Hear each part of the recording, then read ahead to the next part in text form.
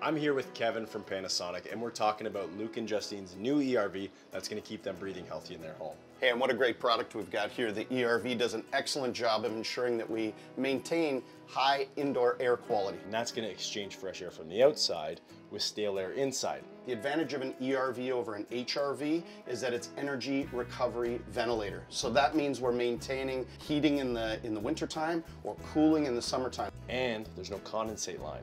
It does maintain the moisture level. We're not pulling moisture out of the air that doesn't need to come out of the air. So there's how many filters in there right now?